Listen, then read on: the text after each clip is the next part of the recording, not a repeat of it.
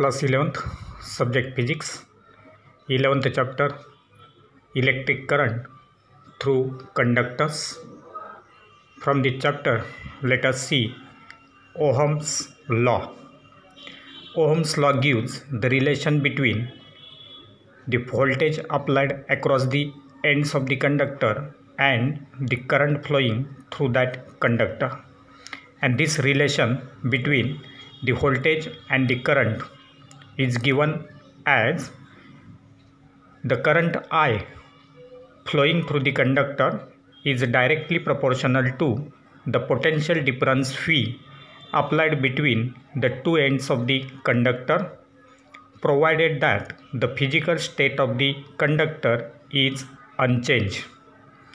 The current I flowing through the conductor is directly proportional to the potential difference phi applied across the two ends of the conductor provided that the physical state of the conductor is unchanged.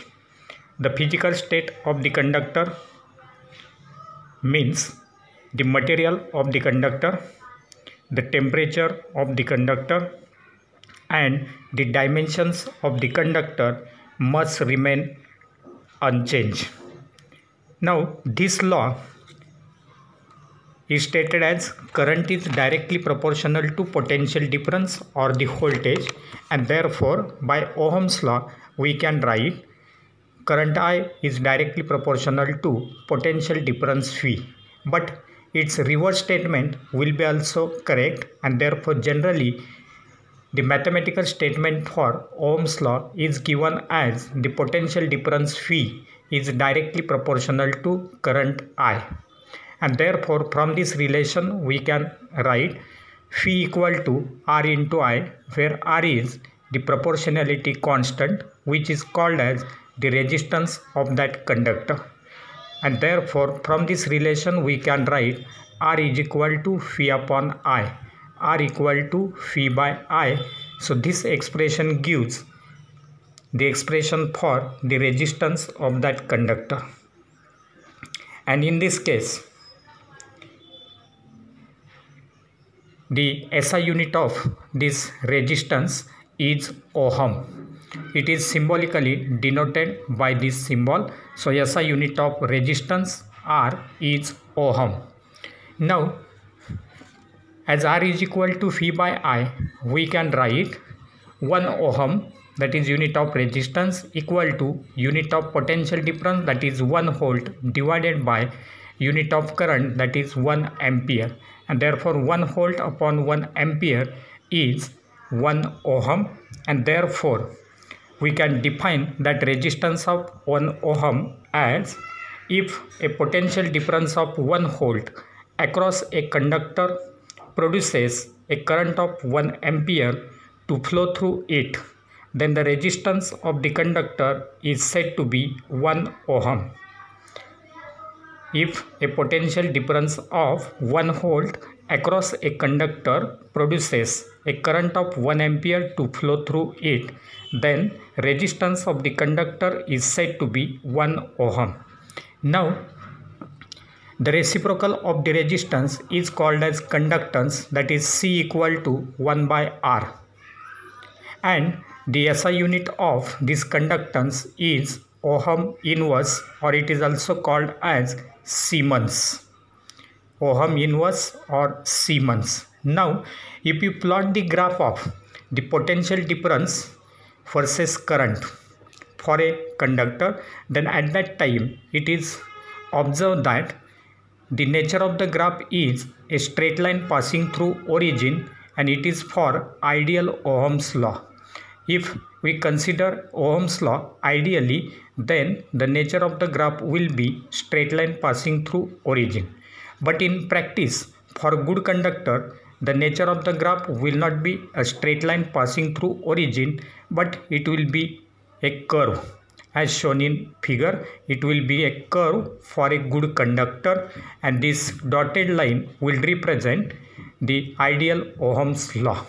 Now, let us see the physical origin of Ohm's law. Physical origin of Ohm's law. For that purpose, we know that the electrical conduction is due to the motion of the electrons. These electrons are free to move inside the conductor.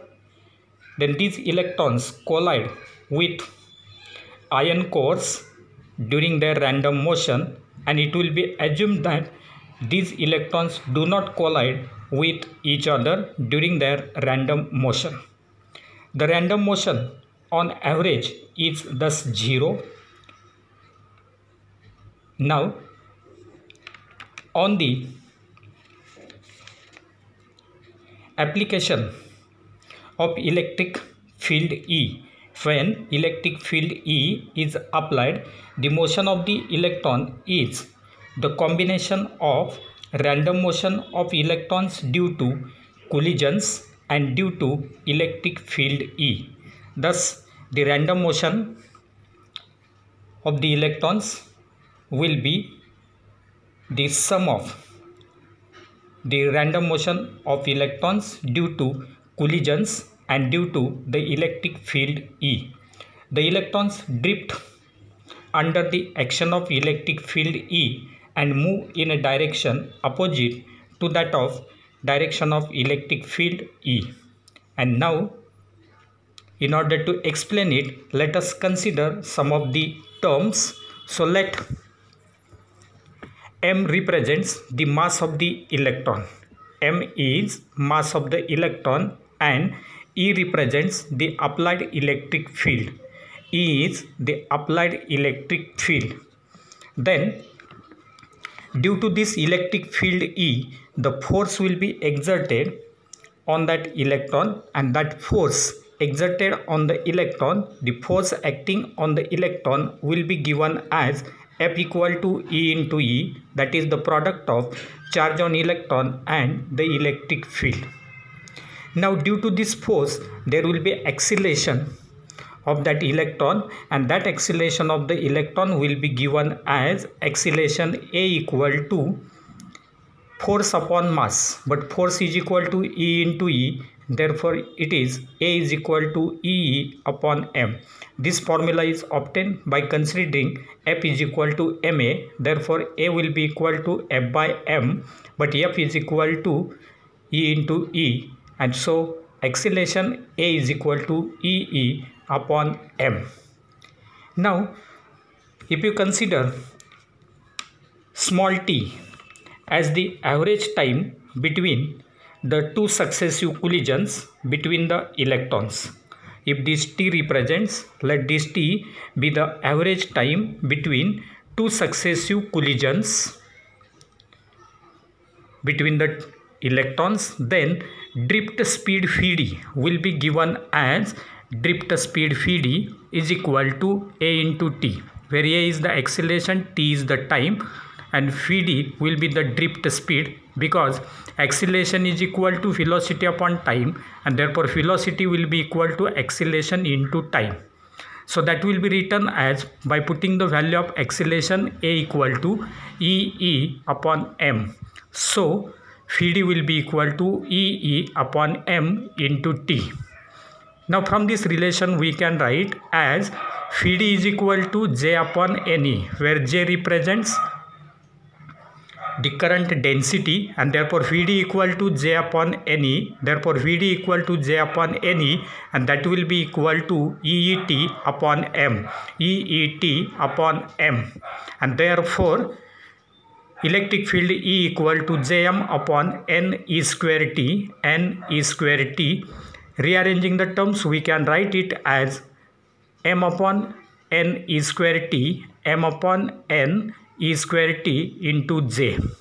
Now this bracketed term is taken as rho and therefore we can write E is equal to rho into j that is where rho is m upon n e square t which is called as the resistivity of that material. So rho is equal to m upon n e square t is the resistivity and therefore as resistivity rho is equal to m upon n e square t out of this m n e and t all these four factors are constant and therefore for a given material the resistivity rho is constant. So resistivity for a given material is always constant.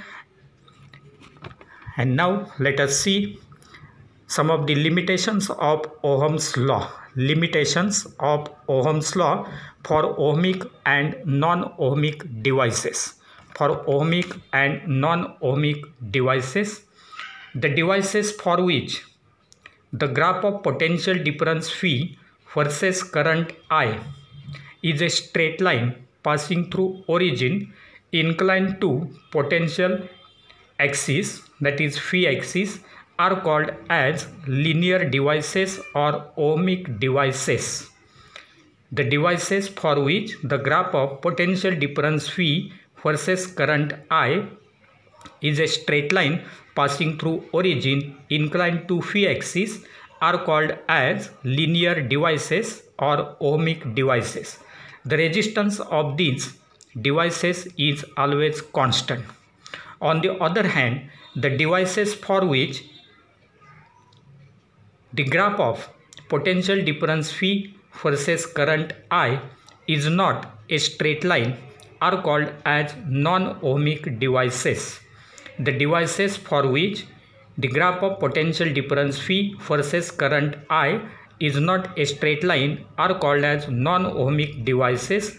These devices do not obey Ohm's law and the resistance of these devices is a function of the potential difference phi or current I.